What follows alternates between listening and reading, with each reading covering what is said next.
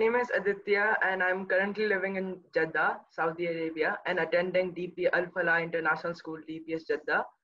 I'm currently in ninth grade, and it was a wonderful experience learning with um, through this group series of seminars, learning from people who have master who are, who are masters in their fields and have a lot of experience to share with you. Personally, I felt the seminar by Glenn Katz was really helpful and uh, will add a lot of impact in my life.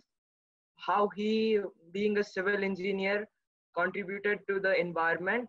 And that shows that not having a degree does not uh, really affect your intentions in protecting the environment and for and doing a good cause. So that seminar really impacted my life. And personally, I would like to thank uh, Dr. Colling for all his efforts that he has created uh, and made for, to make this seminar successful.